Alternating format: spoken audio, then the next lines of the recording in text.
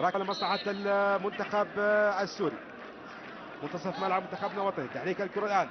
يتقدم اللاعب السوري. عبد المصري. تمرير بينية. هجم الآن. هجم الآن. هناك خطأ. هناك. هناك. يعني يبدو هدف.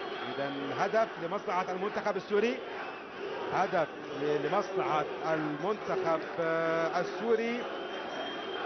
أعتقد تقدم مستحق. الفريق اللاعب قلب الدفاع حمدي المصري.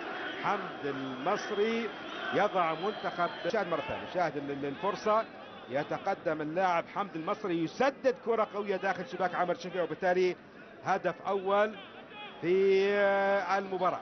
هدف أول في بعد السبات في المقدمة. نتمنى إن شاء الله منتخبنا هذا الثانية شاهد كرة ما فيها تسلل.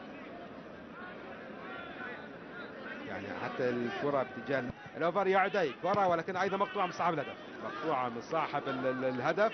صحة منتخبنا الوطني. رمية تماس. نتمنى إن شاء الله ردا اردنيا سريعا. الفتاح وجود من ابو عمارة. وجود في الدمام. يعني وان كانت مباراة ودية ولكن المباريات اللي تدخل في سلم تصنيف فيفا أكيد الجميع خلف منتخب النشامة. إن شاء الله المرحلة لغاية الآن ما في أي كرة ولا أي تهديد على مرمى مصعب بلحوس إلى رمي تماس. الآن عسى من جديد أيضا مقطوعة من جديد. رمي تماس لمصلحة منتخبنا عيدة من دول الخليج. ولكن حسن فضل ارتاح كثيرا مع فريق الخطيات إلى أحمد هايل. كرة تذهب إلى رمي من جديد. عسى عند الفتاح. أيضا شاهد الرقابة اللصيقة المفروضة على مفاتيح العمري عامر شفيع. كرة بالأمام. أيضا مقطوع. ميري. أمامية.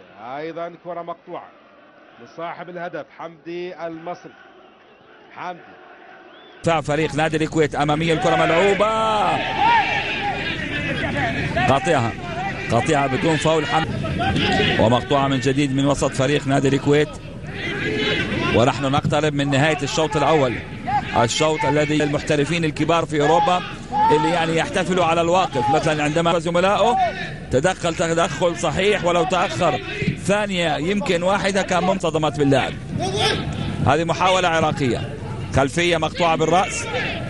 فرصة لنادي الشرطة العراقي.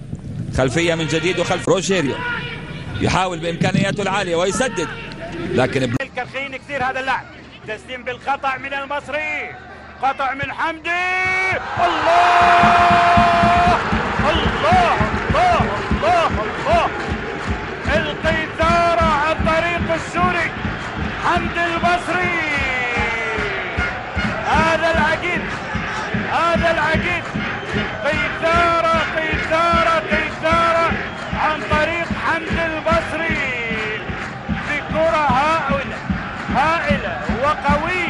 وصاروخ الله الله هذا العقيد هذا العقيد. هو شكلين ما بحكي هو شكلين ما بحكي حمد المصري.